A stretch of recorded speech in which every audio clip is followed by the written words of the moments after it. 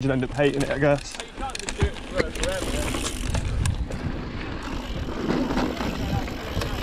Yeah.